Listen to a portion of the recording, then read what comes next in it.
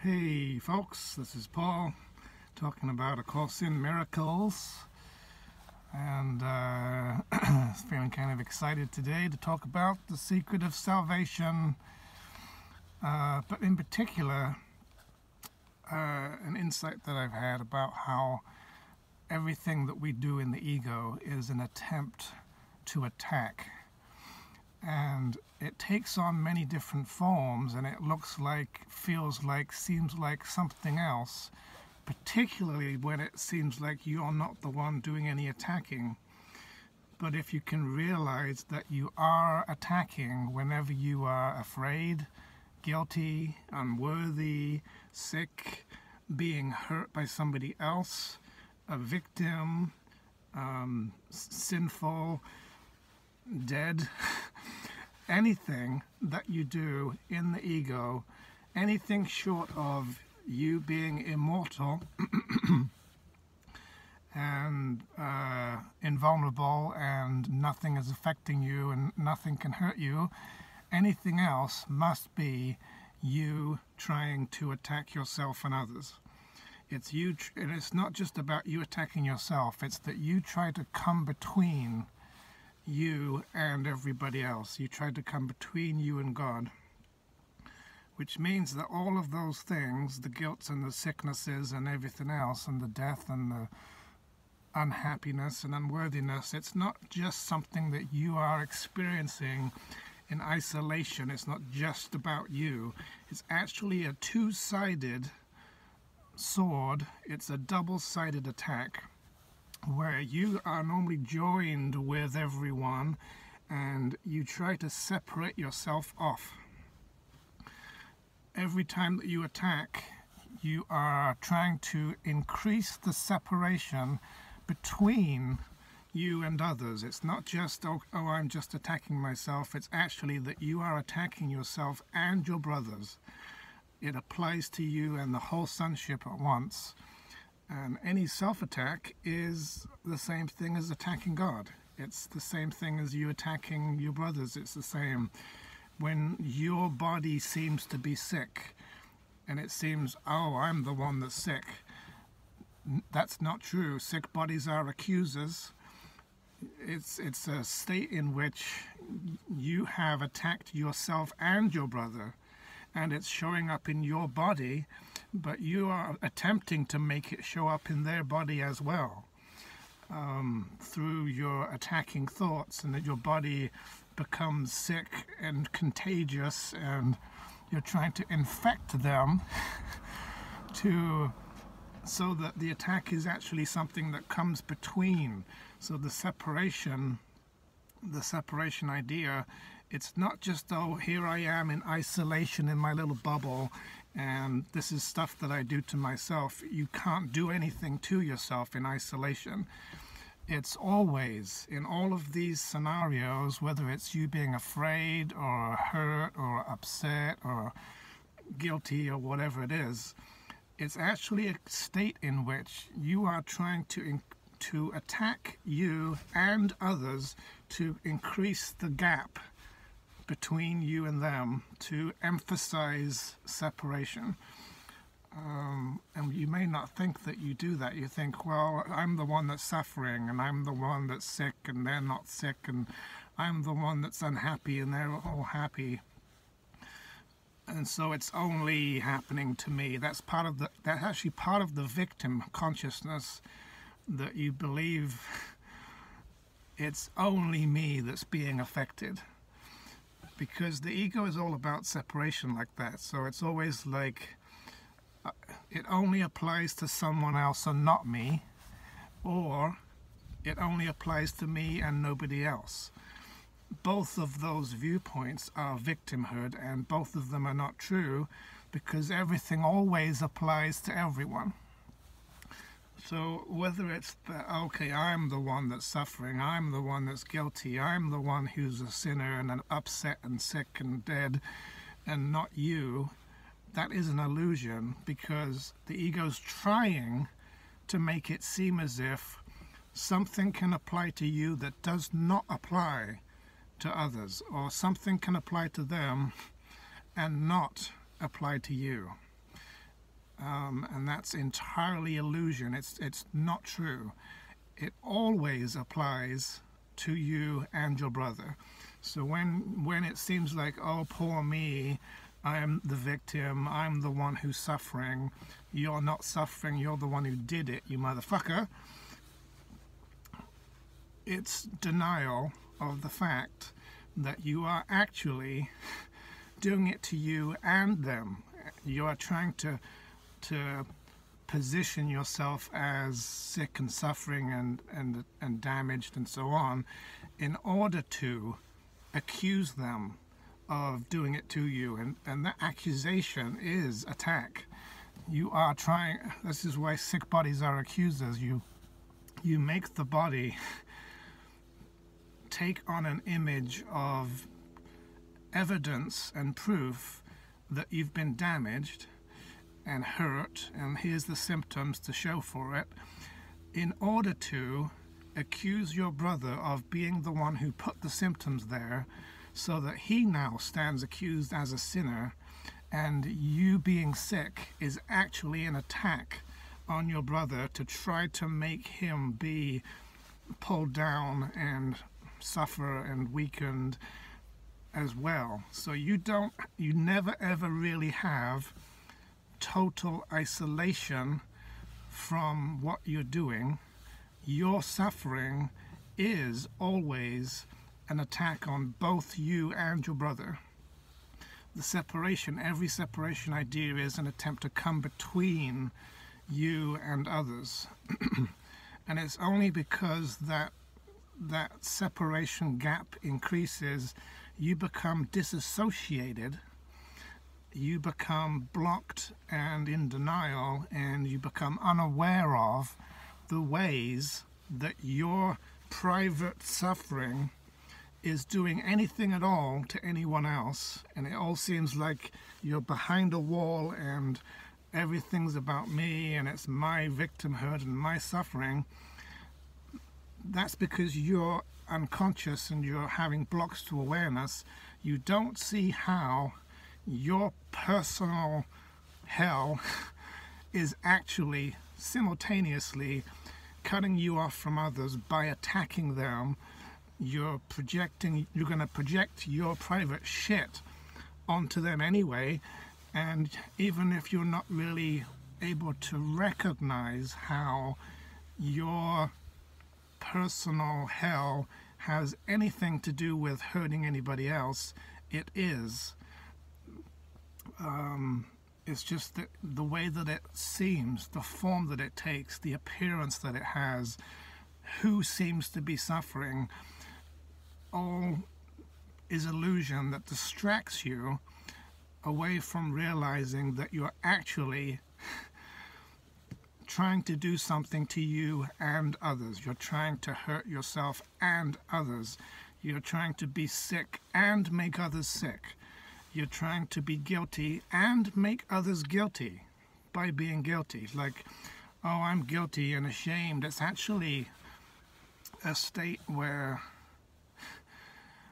you're trying to have a pity party and be guilty and feel sorry for yourself so that you will induce guilt in another person. and you might think, well, only the times that I attack ex explicitly seem to attack another person where they seem to get hurt and I don't seem to get hurt, that that also means I'm not getting hurt.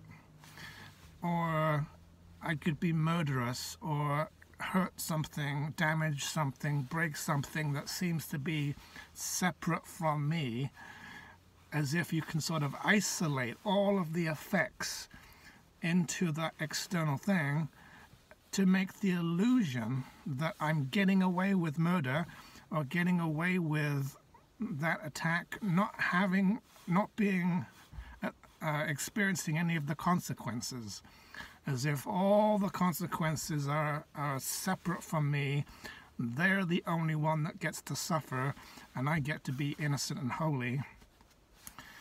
And that too is an illusion. Any time that you try to to sort of put the balance of the attack onto another or something external, something not me, that is you, you are in denial again, and now you're not realizing or recognizing why, when you attack others, you are also attacking yourself and you are experiencing consequences. You are getting affected by your attempt to destroy something that's not you or something that's so uh, disassociated from you, some person that you say, I want nothing to do with them and I hate them and I'll, I'll have as much space between me and them as possible and have them be the one that suffers and I'll just get away scot free. You're not ever getting away scot free. If you make your brother suffer, it's because you are attacking them. If you're attacking them, your mind has attack in it, and that attack is going to hurt yourself you and your brother will suffer together regardless of whether it seems that you are or not and, and even if you've made it unconscious even if you're not even seeming to have any effects. You are having effects. You cannot hurt someone and be loving. You cannot be angry with somebody and be peaceful. You cannot um, attack somebody and be happy and joyful. Um, you have to enter into the same as if you try to put them down you also will put yourself down. You you'll go down into the hell with them. There's something in the course where it talks about this about how uh, by trying to make plans for your brother to be in hell you put yourself there as well. So it's it always applies to both of you. This is the golden rule that anything that's true for you always exactly equally applies to yourself and your brother. So if I'm afraid, I'm trying to also make my brother afraid. If I'm guilty,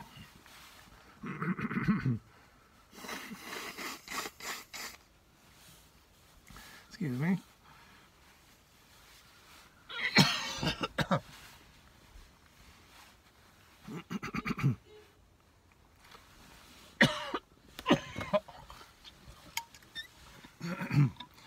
Gosh, triggering some ego now.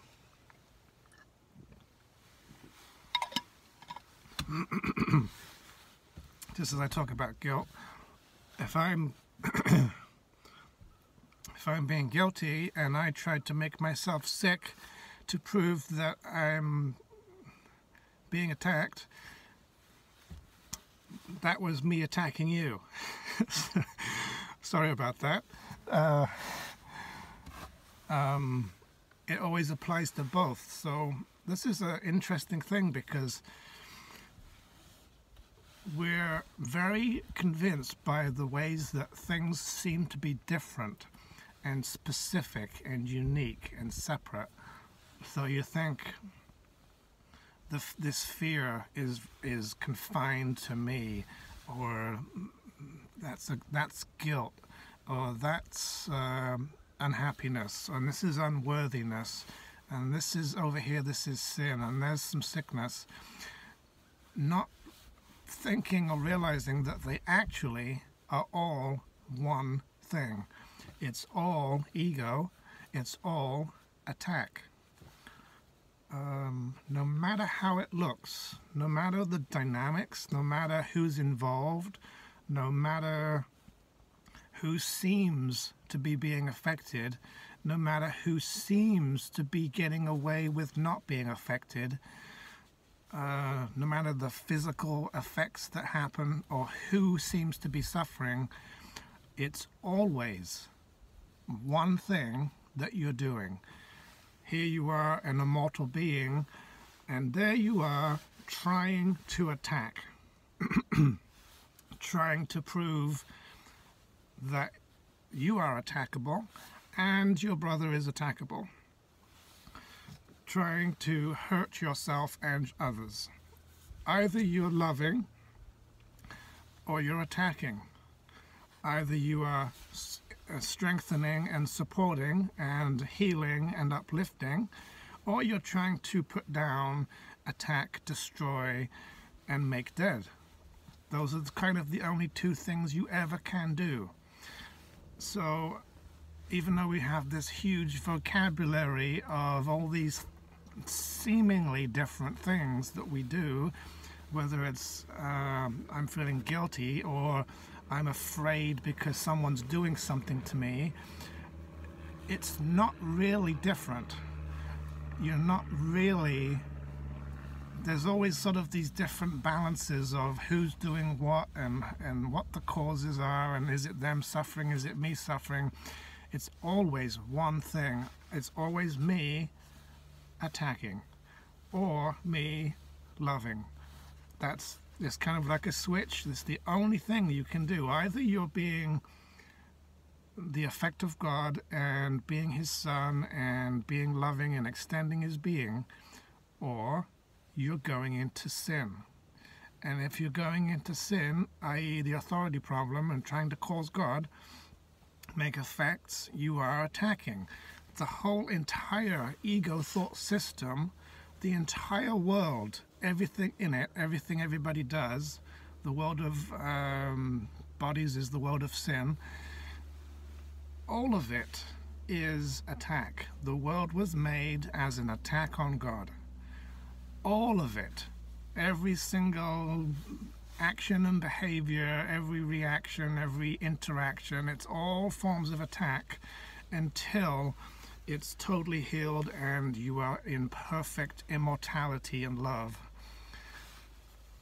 Um, and these illusions of different problems is itself an is itself a problem because you get you get thinking like if I'm afraid it seems on the surface as though that means somebody else is to blame. Someone has power over me. Someone's doing something or saying something and it's causing me and I'm getting effects starting to show up and I'm starting to feel afraid and perceive that it's against my will and I'm being victimized, that is all illusion. That's all bullshit. That's not what's really happening. If I'm becoming afraid, it's because I'm trying to attack. And you might not realize that because the more that you get into victimhood, the more backwards your perception is, and you see that instead of I'm causing, it's the world is causing me, the more that you get deceived by illusions and are in ego and are going towards fear and suffering and sickness and death, and everything's getting reversed, it really strongly starts to look like you're not uh, the one who's doing anything. Because really, it's that you are causal and you extend God's causality, and now you're trying in denial. What you're trying to do is you're trying to deny that you cause anything.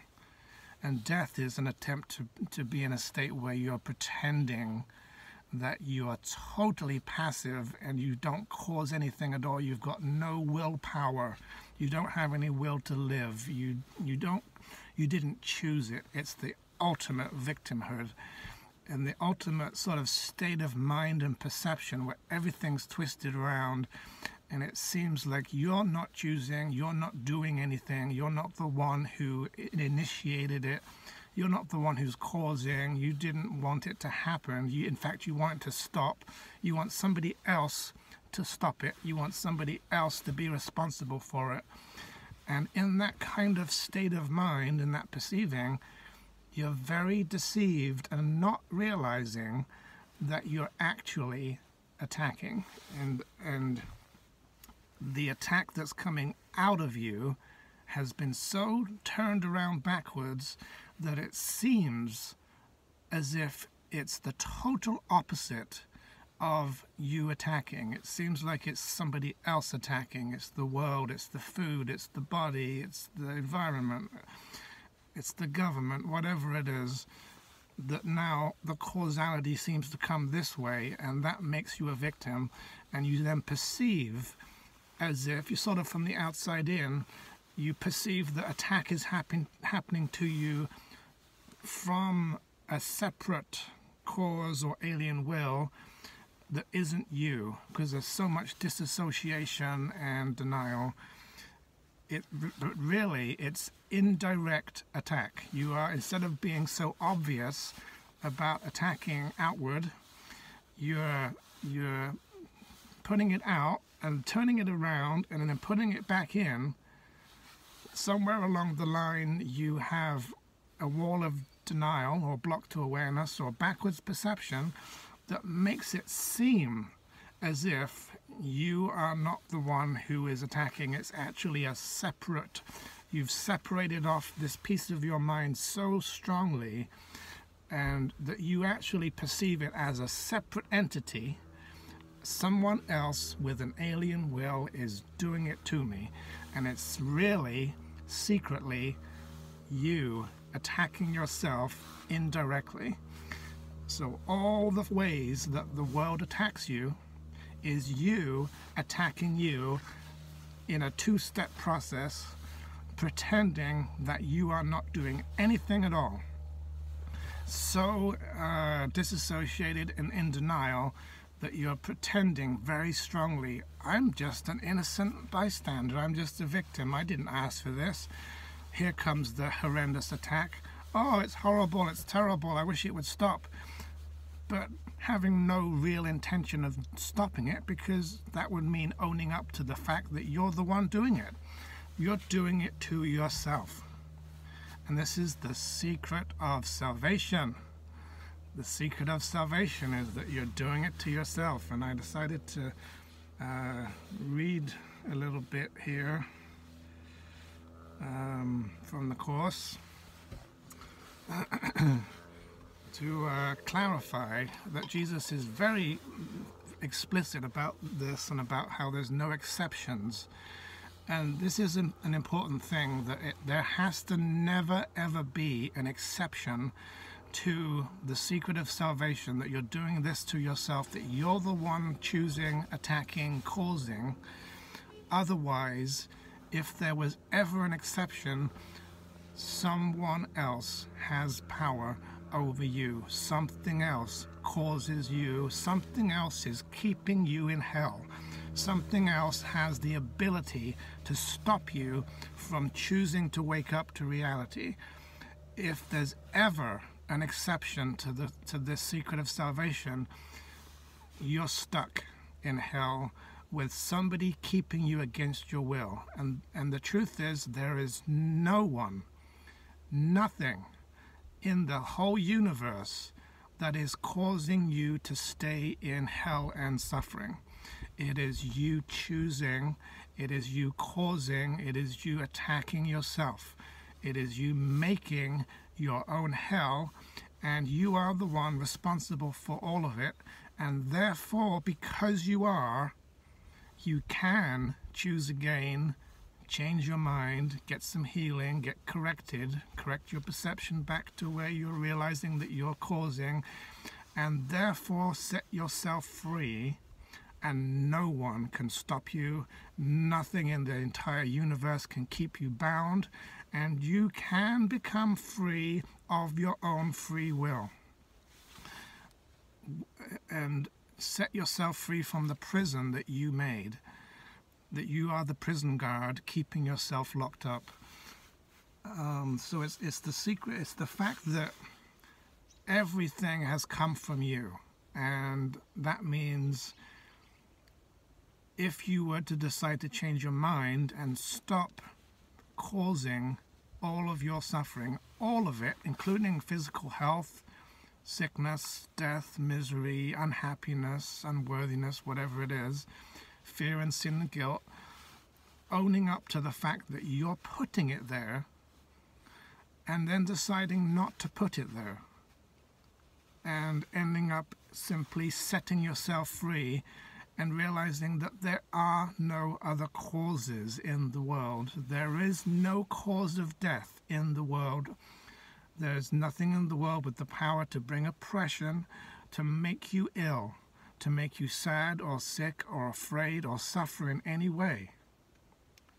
There are no causes of death outside of your mind. Your mind, the mind makes this decision as it makes every decision responsible for the condition of the body. The mind is the cause of the body. The mind is the cause of everything that you experience. It's the cause of everything you feel. It's the cause of your physical symptoms. It's the cause of death. It is the cause of the universe. This is what the Course is getting at that you are the power and the causer and the chooser of your own hell. And if you change your mind and decide to will with God instead, there is literally no power, no causes, no wills, no chains that can keep you locked in hell in any way because you hold the key. You have the key to heaven's gate. You can you can go into heaven at any time. There's nothing that is holding you down, holding you back, keeping you in, in suffering. Nothing has power over you. You are the Son of God, not even death. There is no death. The Son of God is free. You have power. You who made sickness and death can abolish both. You can abolish hell. You can unmake the universe. This is the this is the responsibility that you have. You made space-time. You you you're dreaming you're the one who is dreaming this whole world, everything that's happening. Myself is ruler of the universe. What nothing happens unless I say so. Everything comes to me, nothing comes to me unbidden by myself. It is I who rule my destiny, blah blah blah. Course in Miracles, total self empowerment, realizing that you were perfectly fine in heaven and you are the one who chose to reject God, and you're the one who made everything of the ego. You made up all illusions. You made the world. You made sickness. You made death. You decided what sickness would be and what it would be like and what it would do. You put the laws of physics in place. You created biology. You made up death and said, yeah, when this certain thing happens and there's a certain arrangement of this and that, it's going to do this and then the body will do that and then we'll call that death. You made it up out of nowhere. It has no power over you. If you decide to abolish it, it's gone has no ability to stay of its own will because it doesn't have one. There is no alien will. It's you against yourself. It's your power that you've projected and disowned that is now seeming to be an enemy that seems to do things to you against your will when it's secretly it's your unconsciousness you're actually doing it yourself and you have to own that power that responsibility so that you can realize if I would just stop hurting myself, I will be free forever. If I'll just stop trying to make myself dead, I don't have to die. You, you cannot die unless you choose to do so. No one dies without their own consent. If you don't decide, I'm going to make death happen, it cannot occur. This is what Course is getting at. This is why it's so radical. This is the secret of salvation. Sets you free from hell forever.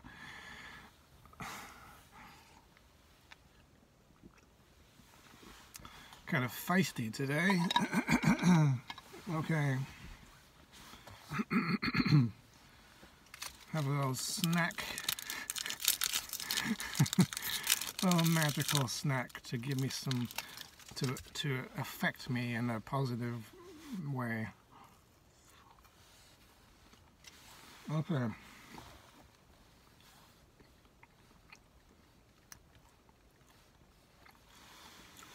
The secret of salvation. Well, there it is.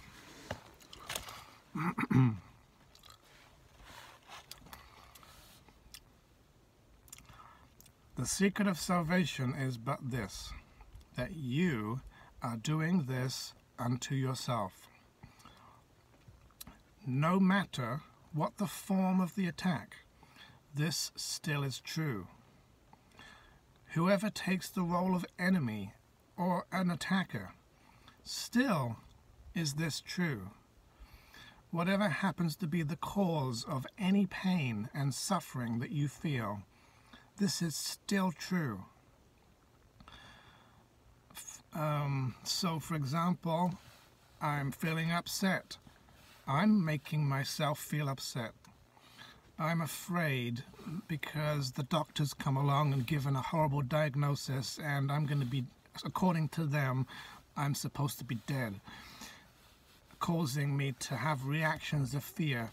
Am I really having reactions of fear because of the doctor, or am I attacking the doctor to try to make him go away, using fear to separate myself from him, to try to emphasize the gap between us, to protect myself, to create distance between us? That's what safety is to the ego.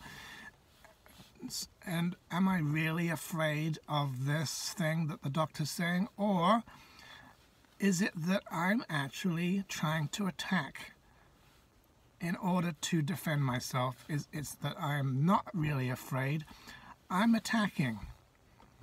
I'm doing it to myself. I'm making myself fearful. I'm putting fear into my experience, choosing to become suffering, choosing to fear, choosing to be victimized, choosing to see myself as unfairly treated, choosing to see that I am under attack and attackable and that it's happening. It's me believing it. It's my bullshit. I'm the one choosing to believe that I'm being threatened. I'm putting the fear there and I'm doing it because I'm attacking myself. This is to do with um, my attack thoughts are attacking my invulnerability. Fear is an attack thought. Guilt is an attack thought. Sin is an attack thought. Sickness is an attack thought. Death is an attack thought. Unhappiness is an attack thought. Unworthiness is an attack thought. Shame is an attack thought. Uh, sin is an attack thought anything that you are doing that is anything less than holy and happy and joyful and loving is an attack. And you are doing it to yourself and you're making it happen and hurting yourself. Jesus says you cannot be hurt unless you hurt yourself. Which tells you that if you would just stop doing hurting, causing, attacking, and stop pretending that it's not attack. Stop pretending that it's fear. Stop pretending that you've been victimized, that someone else is doing the attacking. Owning the fact that, oh, this is, another, this is me attacking again. This, this being afraid is me attacking again.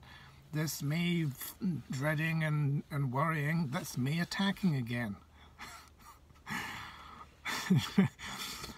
everything in the ego is, is spent time spent attacking.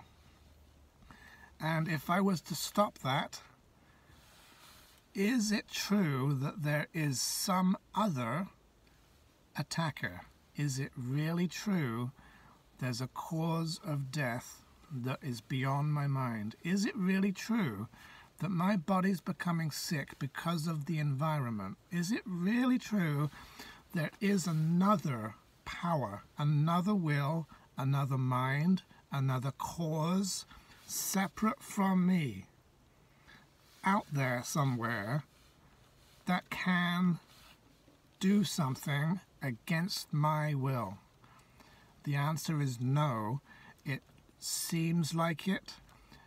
it there's a, tremendous illusions that make it seem and appear as if there are that you would think, oh, there's um, somebody lets off an atomic bomb.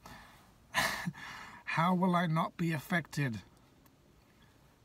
If you are masterful and perfectly powerful and nothing can prevail against you, neither can an atomic bomb.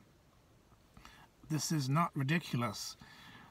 Jesus talks about how you can be perfectly protected in the section about sickness is the defense against the truth near the bottom. It talks about how there's a protection that you can have when you are using the body only for love and that you can the body can become a symbol of immortality and even if the body could be affected you would not be affected because you're immortal. You could just make another body as if it had had no effect on you. So you are not at the effect of anything in the world because you're not of the world. Um, there is no cause in the world. This is the belief that we have that somewhere out there, separate from my will, my power, my control, my ability to make an influence or a difference, beyond my mind, somewhere beyond the scope of my being that I can't have any power over, outside of me, separate from me, there's another causer, a chooser, a will that if it decides my fate, it can make me suffer against my will and I can't do anything about it. And that is bullshit. That thing that you believe in, that you think is a separate power, a separate alien will, is part of your mind. It's in it's inside your mind but seems to be separate from you because you have a split mind, you've disassociated, you believe in separation, you've attacked yourself, you've got a piece of yourself over here and you've got a piece of yourself over there. And the part that's over there you don't recognize as you because of the attack between you, and you think it's your enemy, and it's yourself. It's your own power that you are afraid of. It's your own causality that you're afraid of. It's your own will to attack yourself. So as instead of you willing wholly outward, extending, where nothing opposes your will, you take a piece of your will and you turn it around, you put it out there and you make it do stuff to you and believe that it's not your will. and it is your will the enemies that you have, the, the power that you think they have, it's yours.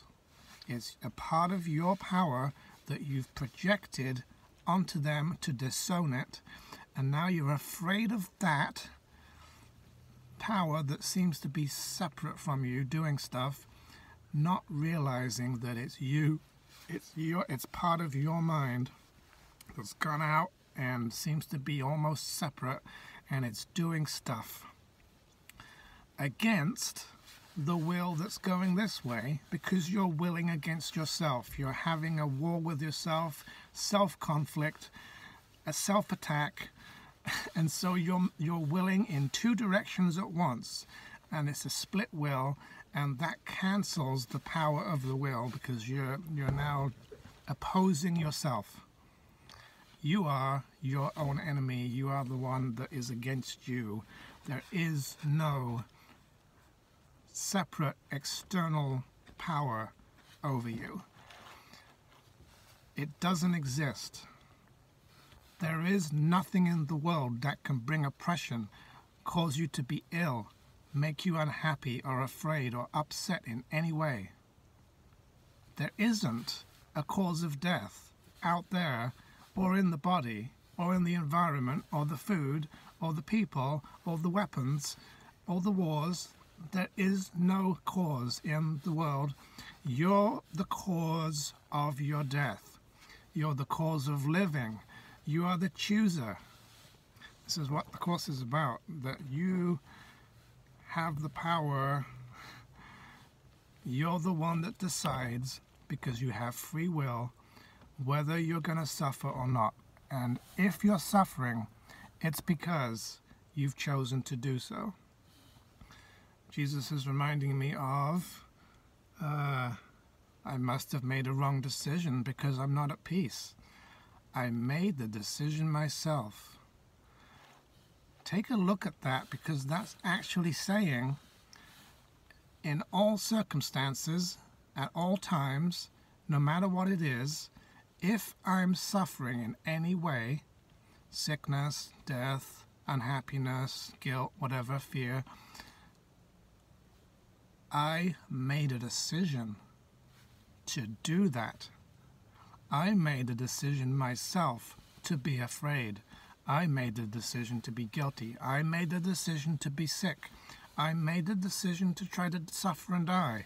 I'm the one who's choosing to believe that I am unworthy of God's love in order to try to prevent God from loving me.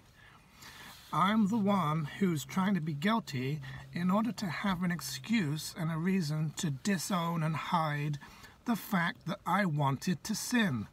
And I'm the one who chose to sin and to try to make sin happen. I wanted to be separate.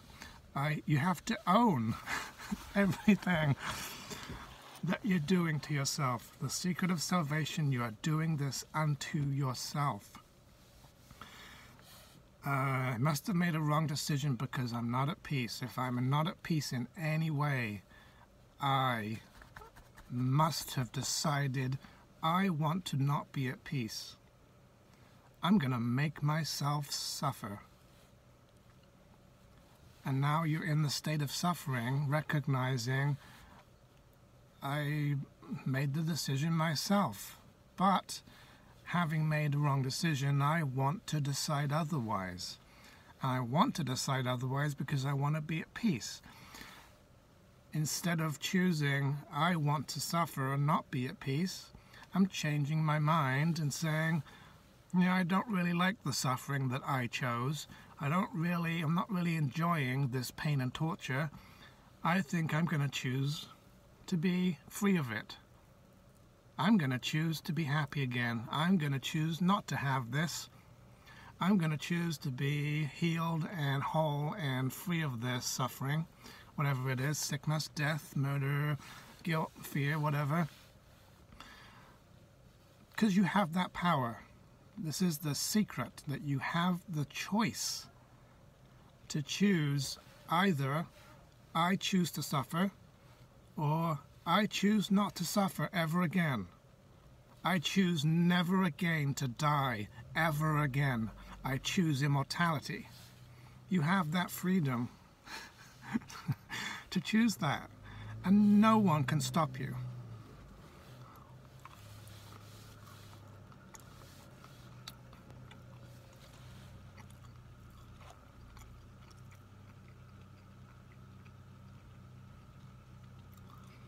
I don't have to worry about the consequences of my wrong decision because the Holy Spirit will undo the consequences if I'll let Him.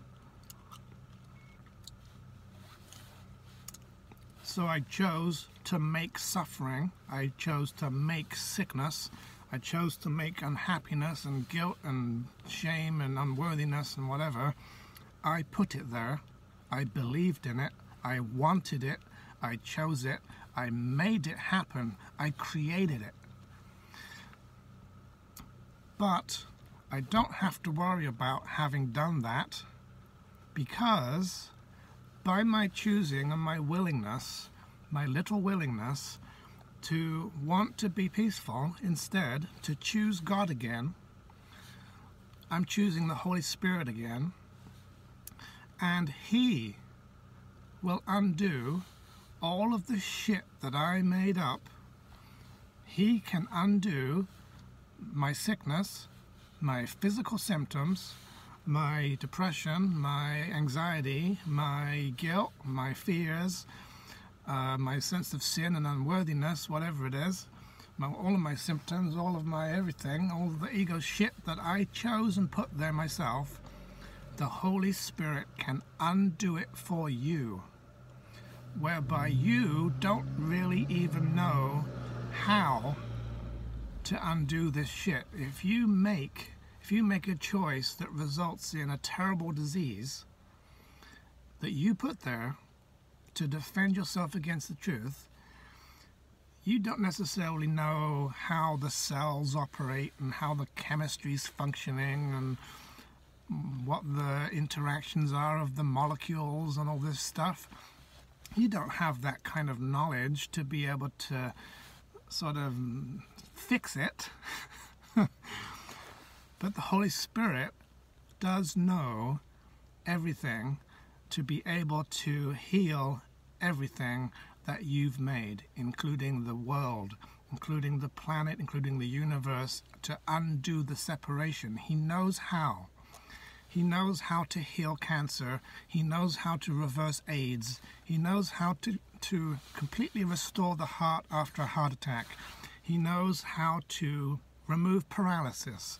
He knows how to undo stroke and heart disease and liver disease and bone marrow deficiency and autoimmune diseases and everything.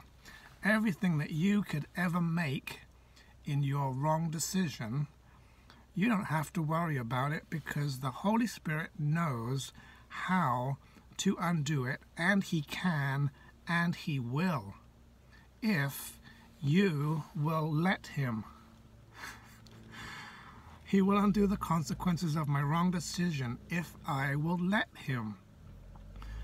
I choose to let Him by allowing Him to choose for God for me. What I found is that it's it's kind of more like I allow Him to heal me by inviting Him in, by having a little willingness, which means I'm willing in the direction of God. I'm willing to be mistaken.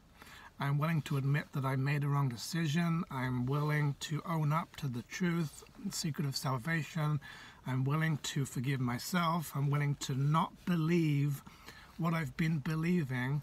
Anything that's moving you toward the truth is willingness and is an invitation because you're saying, okay, Holy Spirit, I want to be closer to you, closer to God, closer to health and happiness. I want to be more awake and more at peace.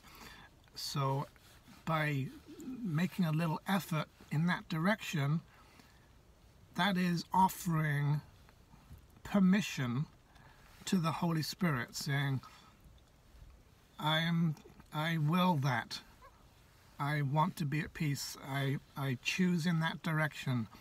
And that is opening the door and giving permission for Him to intervene on your behalf with a miracle to undo the consequences of your wrong deciding, to remove the symptoms of your self attack, to heal the body physically, to uh, heal your upset feelings, to heal your mind of its confusion and its um, delusions denials.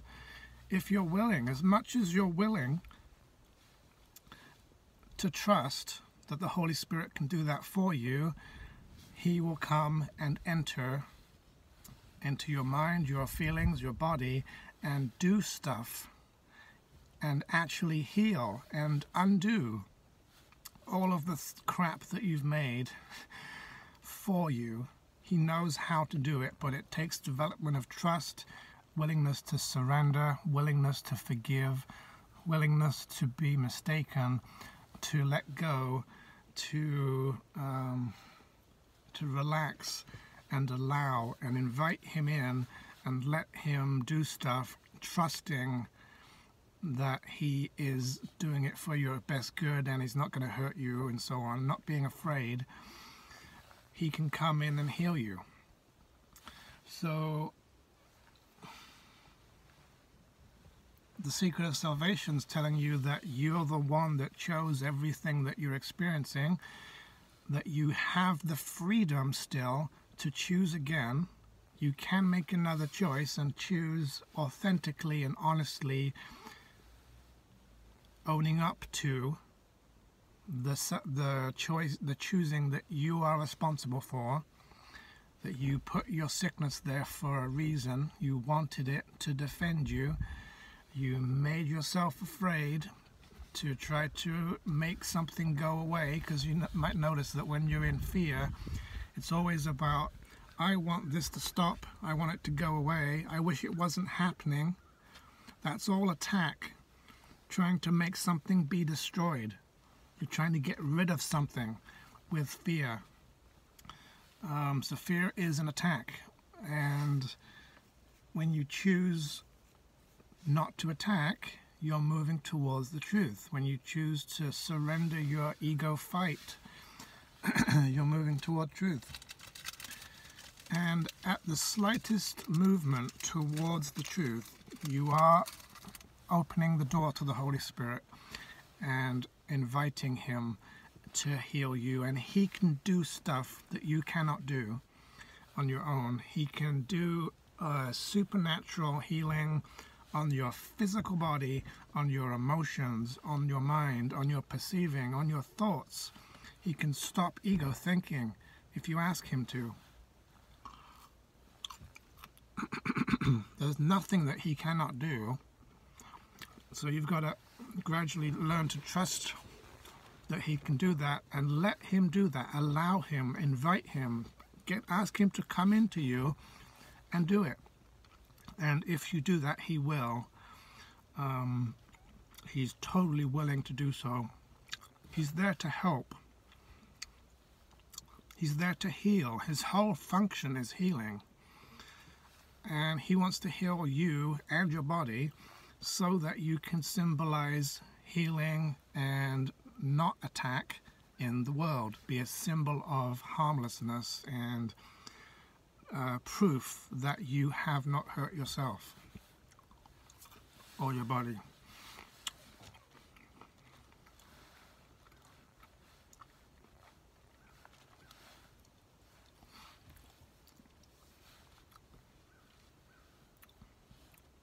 You would not react at all to figures in a dream that you knew you were dreaming.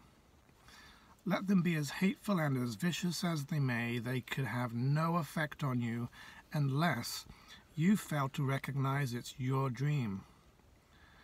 This single lesson learned will set you free from suffering, whatever form it takes.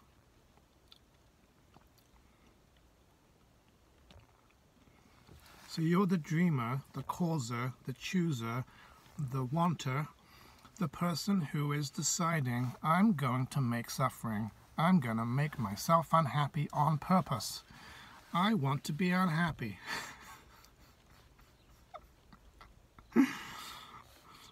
we literally do this. And you make the dream stuff that you say you don't want, but you must want it if it's there, because you're putting it there. So if you're making it be there, um, but you're forgetting or you're not aware of or you're out of touch with the secret of salvation that you are the cause, you will then think that it is the cause of you.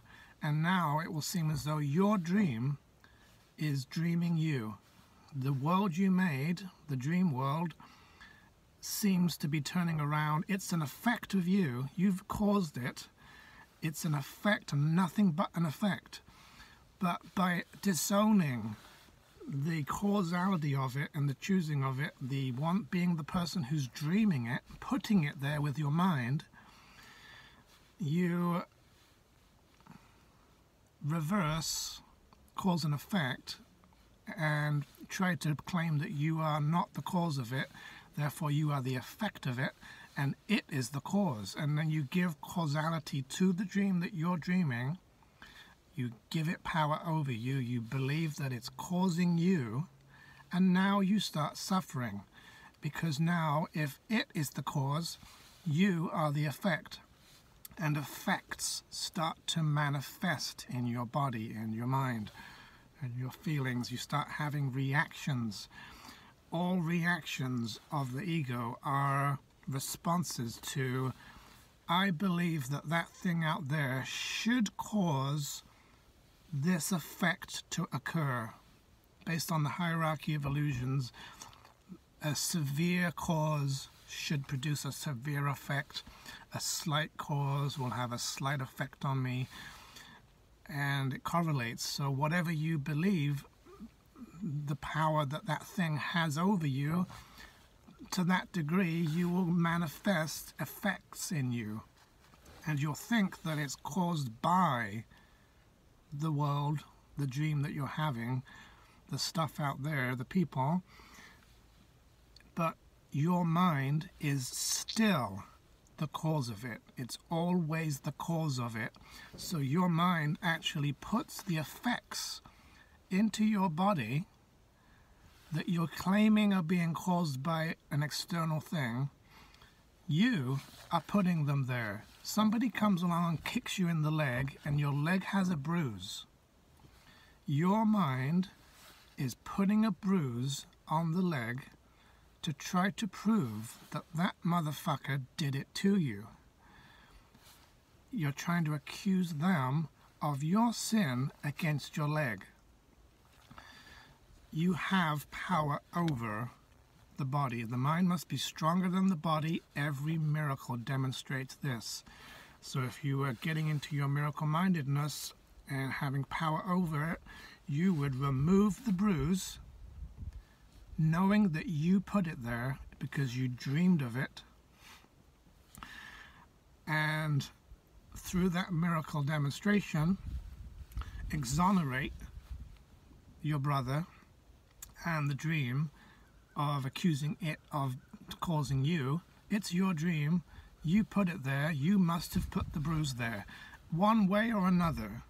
If you've dreamed of an attacker and the attackers come along and kicked you in the leg, you kicked yourself in the leg with this puppet that you put in the world and hired or uh, consented and agreed with, or even more literally, literally made a weapon to use against yourself and then inflicted it upon yourself with no one else involved. That's the kind of recognition you got to have if you're realizing you're the dreamer of the dream. If you recognize you're the dreamer of the dream, this single lesson will set you free from all suffering if you can get into the awareness I'm the one causing. I must have chosen it. I'm responsible. I am the source of the dream. I am the one who's doing the attacking. If I would simply choose not to cause attacks, not attack myself either so directly or indirectly or in any way, I would be free from suffering. My dream would not have the ability to attack me. Because what happens is your perception of it changes and you realize that this dream is just sort of a self-contained bubble of illusions and it can only attack within itself. And you are outside of the dream. You're the dreamer of the dream.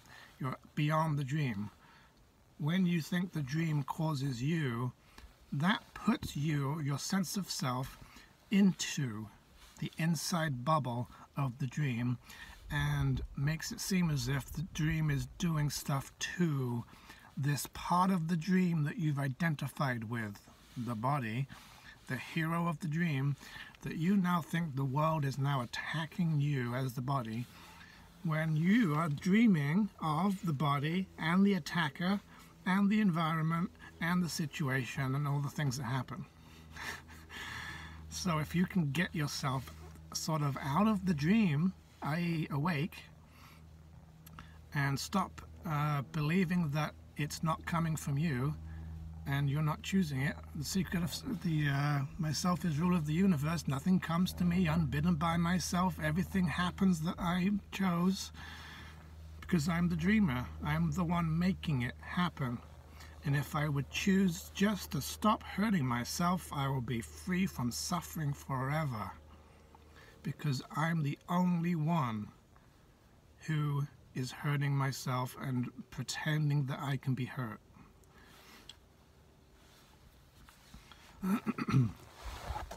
this is the only lesson.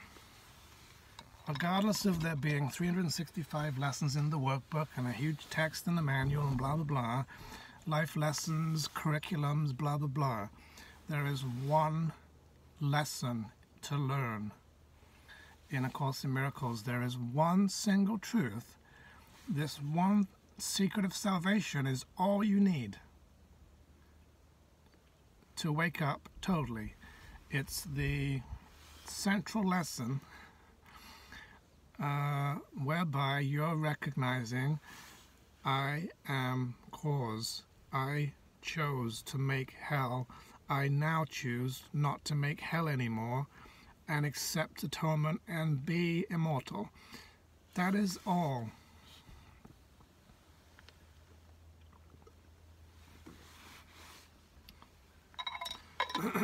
but it may take multiple forms of different seeming attacks, different challenges, different people, different environments, different seeming problems that look like they are separate issues, but they're not. It's all this one thing. It's all this one. I'm trying to disown my power. I'm trying to not be the cause. I'm trying to pretend that I'm hurtable. I'm, I just have cause and effect back to front. All of it is to do with cause and effect. I am the cause. The world is the effect. If to any degree, in any way, I believe the world is the cause and I'm the effect, that produces every single form of suffering in the entire universe. Sickness, fear, guilt, whatever it is, is all just another way that it shows up that I have my perception back to front because I'm perceiving from the outside in.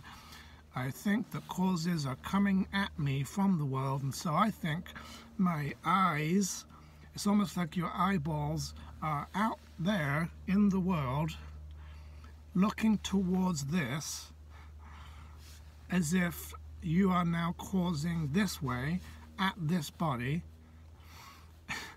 and saying that the cause is now coming the hit this way. It's an indirect attack. The Holy Spirit will repeat this one inclusive lesson of deliverance until it has been learned, regardless of the form of suffering that brings you pain. Whatever hurt you bring to Him, He will make answer with this very simple truth. For this one answer takes away the cause of every form of sorrow and pain. The form affects his answer not at all, for he would teach you but the single cause of all of them. No matter what the form, and you will understand that miracles reflect this simple statement I have done this thing, and it is this that I would undo. so there's basically there's this one lesson there's this one one dynamic and the authority problem the separation the entire ego thought system, the universe, the whole world, every problem you've ever known about is all just a form of cause and effect reversal. God is the cause of you, you are the effect of God, and you start believing that you are the cause of God, and God is the effect of you. And that is backwards thinking. It's it's what produces perception from the outside in, it is magical thinking, it is level confusion, it is self attack, it is what makes you think that your dream is causing you and making effects in you. It is the, the starting point of all victimhood and suffering and sickness and death. Death is the total reversal of cause and effect.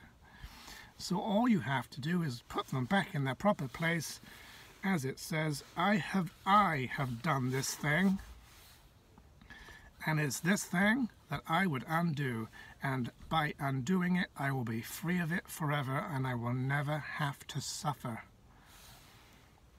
The secret of salvation, that's all you need. It's like this one thing, this one secret. You get this, and you apply it, and you live in it, and you correct your perceptions and your beliefs so that you're never believing that anything has power over you. You're never being a victim. You're never uh, falling for the illusion that you are separately suffering. You're never buying the deceit that someone else is wrong but not me, or I'm wrong but nobody else is, or the suffering's over there, not over here, or uh, I'm they're the one that's been attacked, not me, or I'm attacking myself and they're not attacking themselves, so I'm the little helpless victim. All of that has to be undone by you with willingness, with the help of the Holy Spirit, so that you can be free from suffering. And that's what the whole course is about. Every lesson, every every idea, it's all pointing in that same direction. This one lesson. The Holy Spirit will repeat this one inclusive lesson of deliverance until it's been learned, regardless of the form of suffering that brings you pain. Uh, he will teach you that uh, the forms don't mean anything. They're just different forms of the same issue. Bring then all forms of suffering to him who knows that every one is like the rest. He sees no differences where none exist, and he would teach you how each one is caused by you. How am I causing fear? How am I causing guilt? Why am I attacking when I'm fearing? Why, when I'm worrying, am I trying to undermine the person that I'm worried about?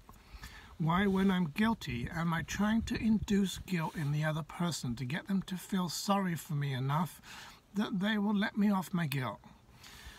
Why, it's all you doing, causing, choosing, making, doing it to yourself.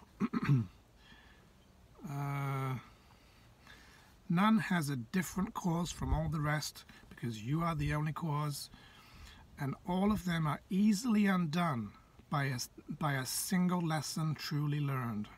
Salvation. This is what you want to get out of hell. You want salvation.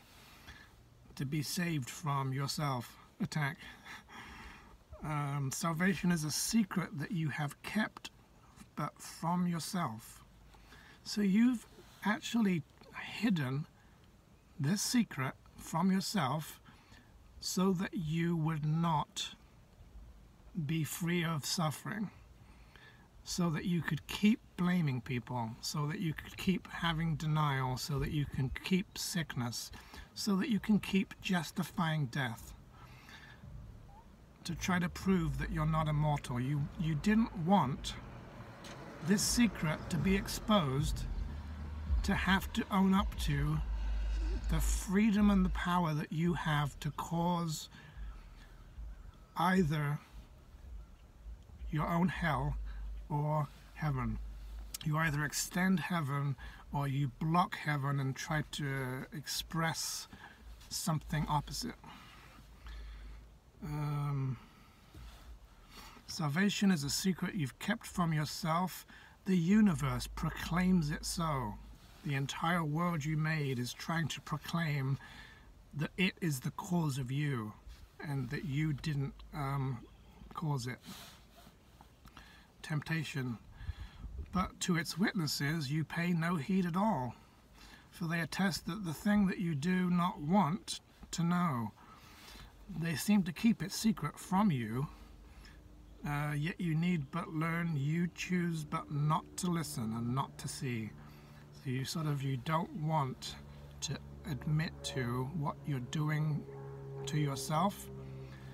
And every way that you think something's affecting me something's hurting me someone's threatening me something's causing me to be sick something's making me something's i'm upset because of it's that's all bullshit illusion covering up the fact that you are attacking them and yourself. You are trying to separate you and others by going into fear and suffering and guilt and sickness.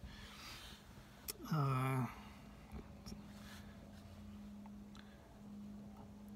how differently will you perceive the world when this is recognized? when you forgive the world your guilt that you've tried to blame on them, it's you making the guilt, you will be free of it. Its innocence does not demand your guilt, i.e., in order for the world to be innocent, you don't have to be the guilty one because there's a quality. If the world is innocent, so are you. Nor does your guiltlessness rest on its sins. The other flipped reverse of that, that I get to be innocent and the world is guilty. That's also ego. This is the obvious, a secret kept from no one but yourself, and it is this that, that has maintained you separate from the world. So as you do all this victimy stuff, you cut yourself off from your brothers, from the rest of existence. and kept your brothers separate from you. Now need you but to learn that both of you are innocent or guilty. This is the golden rule. It, everything always applies to you and others equally. If I'm innocent, you must be innocent. If I'm guilty, I believe that you're also guilty. You can never have a situation where I'm innocent and finding you guilty. In order to find you guilty, I've got to be guilty too.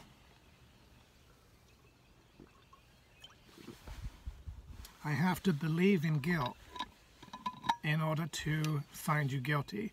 If I believe in guilt, I have to believe guilt is true. And it's true of me and it's true of you. So it's the ego's deceptions that suggest you can get away with murder, this murderous idea. Uh, what is not love is murder.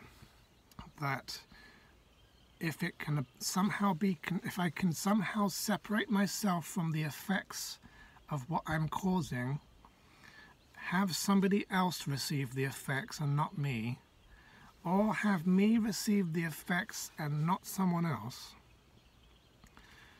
then I am somehow free from blame for the sin. I'm not the one who attacked, or somebody's attacked but somebody hasn't. There's an imbalance, and this imbalance, this inequality, is the whole ego thought system is based on this inequality. It's a denial of the golden rule that everything always applies to you and the whole sonship. Um,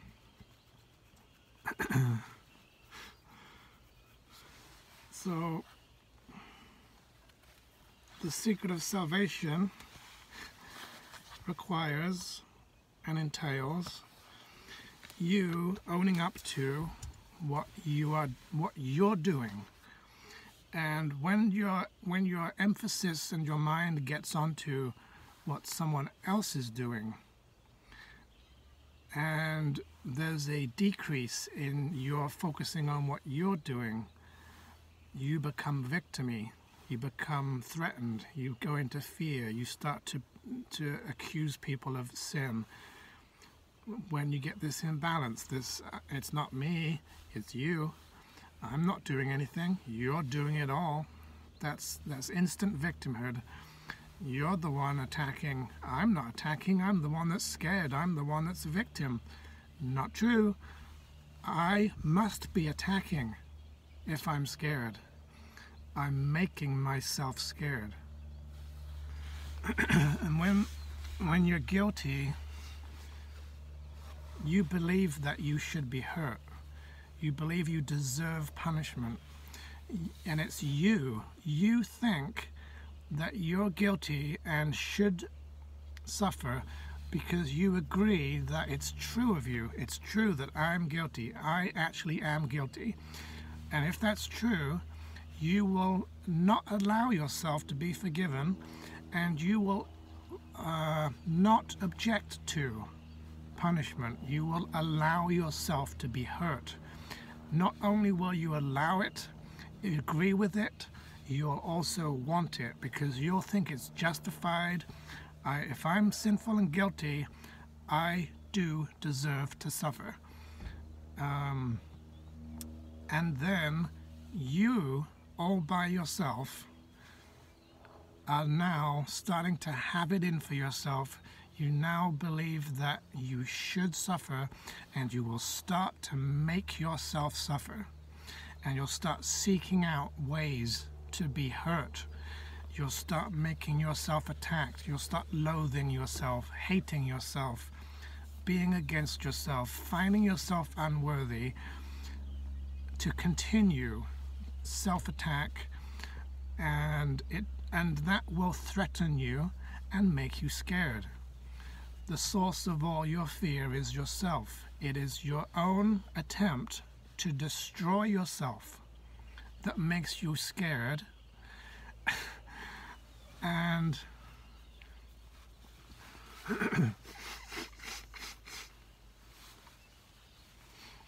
that's suicidal. It is suicidal to believe that you're guilty because you're going to start trying to hurt yourself more than you already have. Just uh, even believing that you've even sinned is self attack. Trying to find yourself guilty. It's a continuation.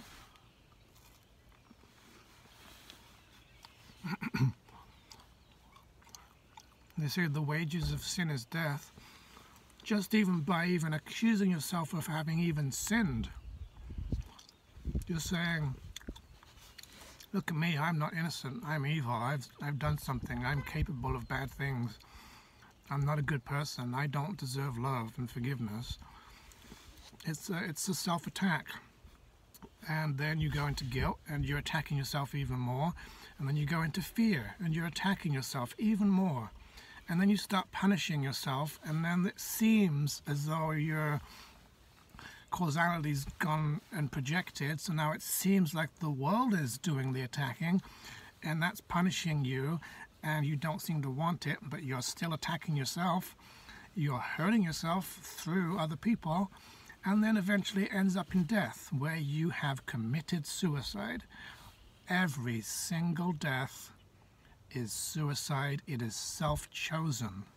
This is part of the secret of salvation, recognizing that you have power over death. You get to decide whether or not death happens. You are the cause of it happening if it does. No one else, nothing else, not the body. The body does not cause death. Um, the world does not cause death, the environment does not cause death. Your mind is the only cause of everything. Your mind is the only chooser of what happens, and nothing can happen beyond your choosing. If you imagine that this world doesn't exist, and before the separation it didn't exist, how is it possible that there's anything in the world that can occur on its own unless someone sitting in heaven chooses to make all of it happen. Someone somewhere sitting there on a cloud, imagining and dreaming, making an entire world, and nothing can exist in that world unless that mind puts it there. There isn't another thing putting the world there. It doesn't exist on its own free will. It doesn't remain of its own free will. The mind has to maintain it. Jesus says, You maintain the world in your mind with your thoughts. You're the one choosing it. Heaven and earth are both in your mind.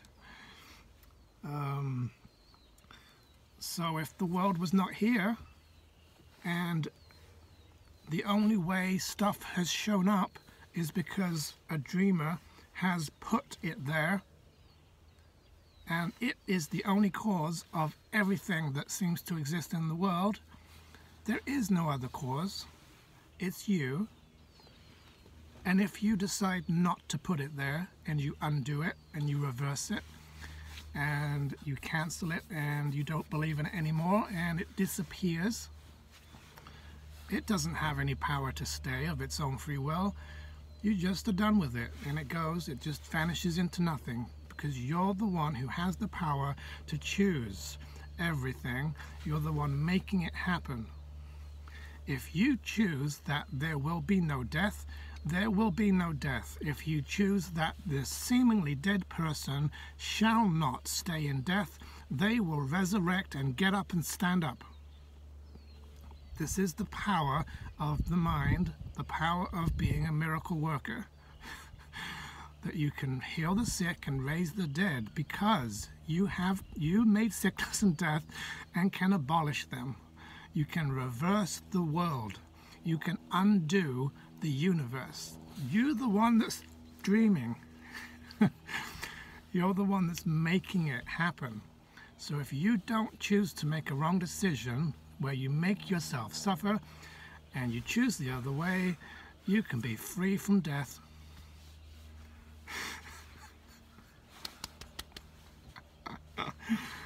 you never have to suffer again against your will. There is no such thing as against your will. Only you are ever the one who is against your will. When you have a split mind, you're willing out and you're willing in, and they're butting heads, and you're willing against yourself, and you're in conflict, and you're hurting yourself, you're trying to attack yourself. If you would stop doing that and only will and extend the love of God, you uh, are taking off the table that attacker. There now is no opposition to your own will. You're whole minded, your will is whole, you're causing uh, without any opposition. Imagine the power that you have when you can cause and there's nothing to resist your causing. There's nothing, there's no other will, no other power, no other strength, no other solidity or reality that, that is doing anything to prevent the effects that you're causing. Unopposed will, a will that has no enemy, a power that doesn't need to have power over anyone because there is no other power. The single one power of God power without opposition. That is your natural birthright. Um,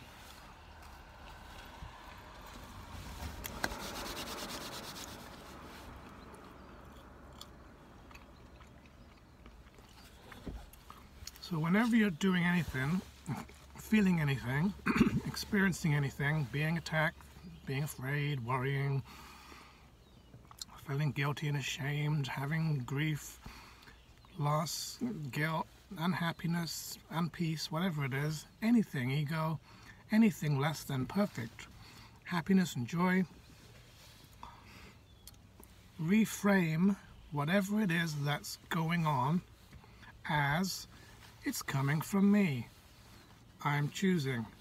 I must be attacking if I'm not happy.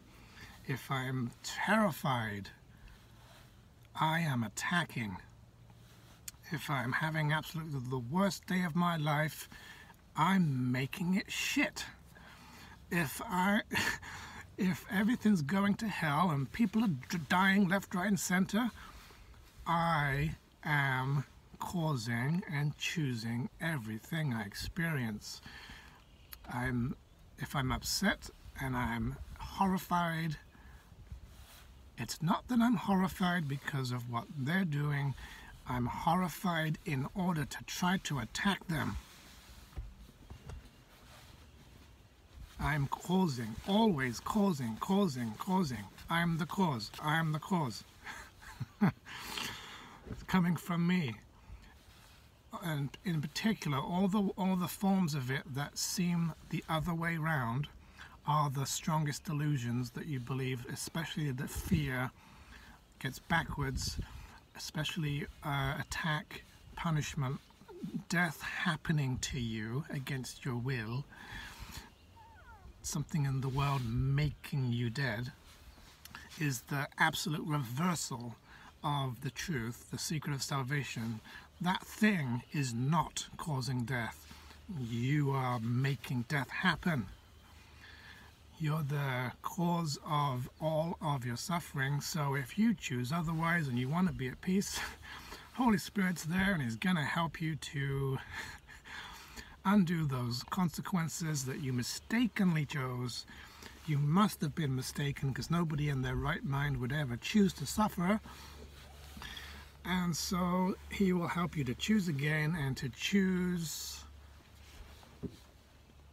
what God would choose for you happiness, love, peace, health, uh, invulnerability.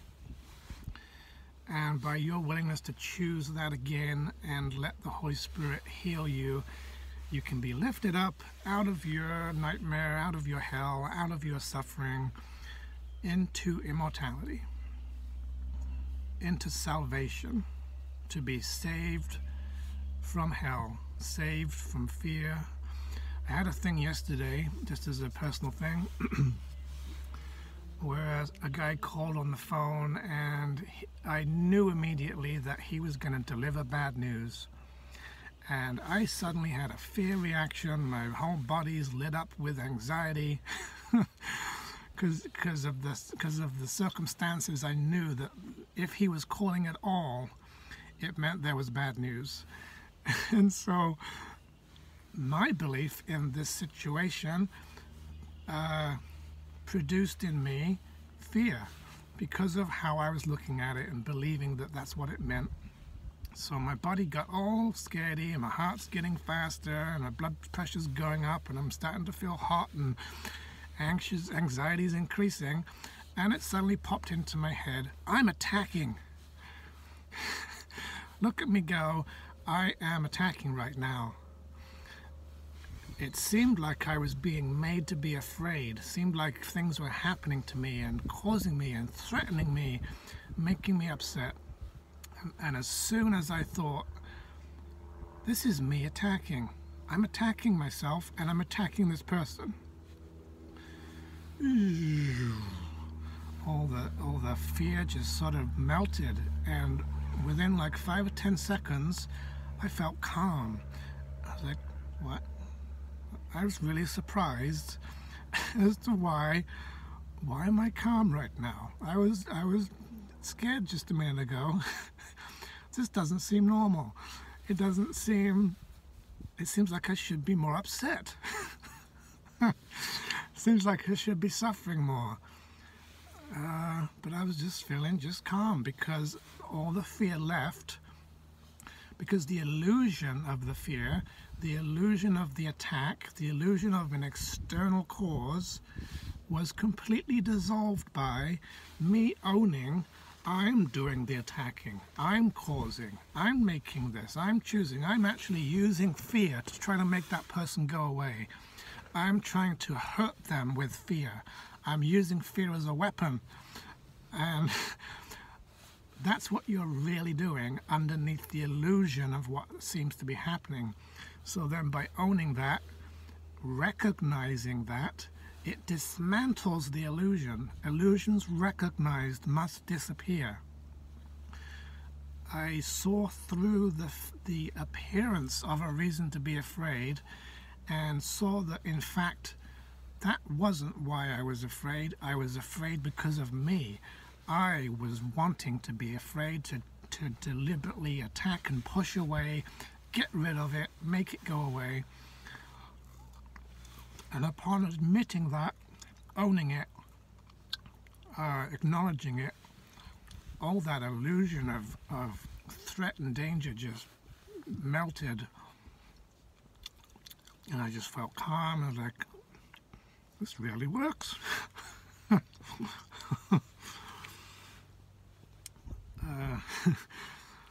found some salvation because of my um, not buying into my own illusions and choosing again and aligning myself with the facts.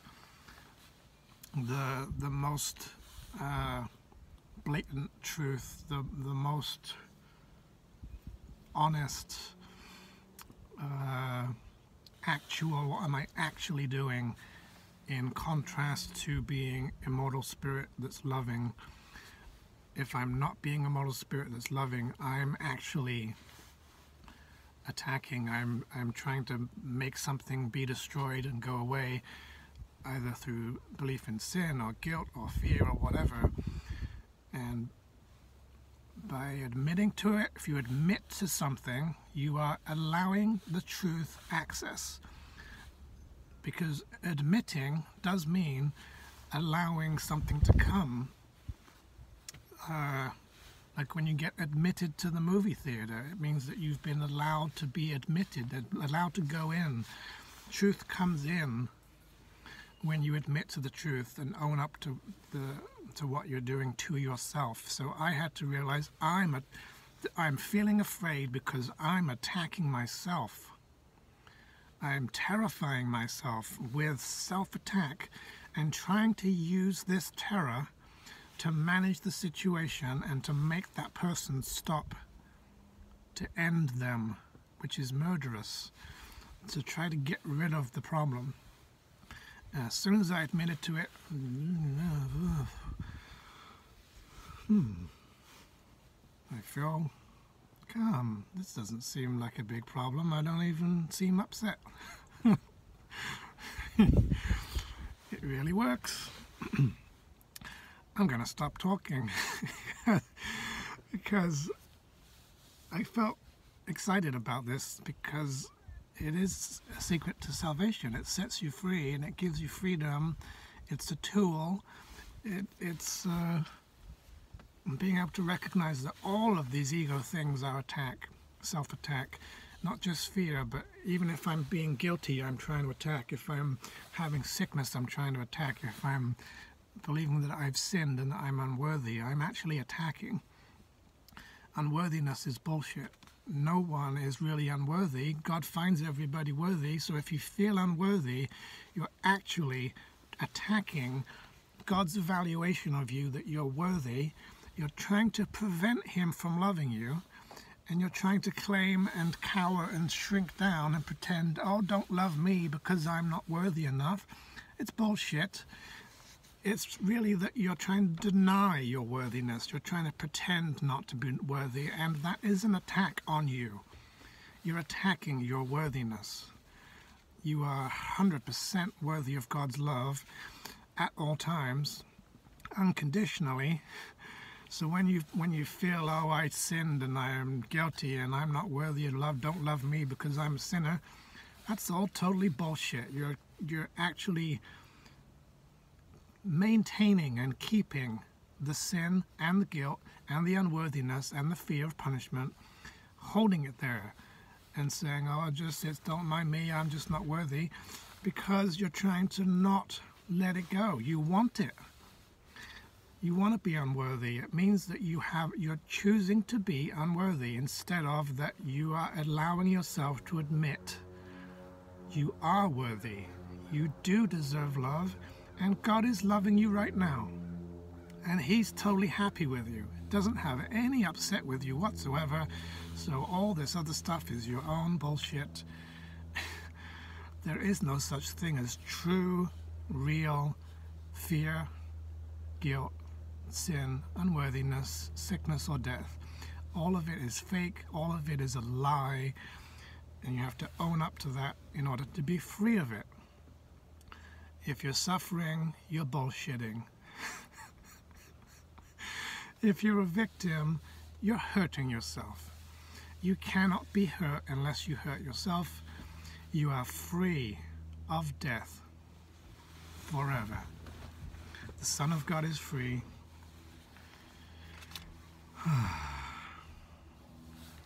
I'll see you soon. Talk to you next time. Bye bye.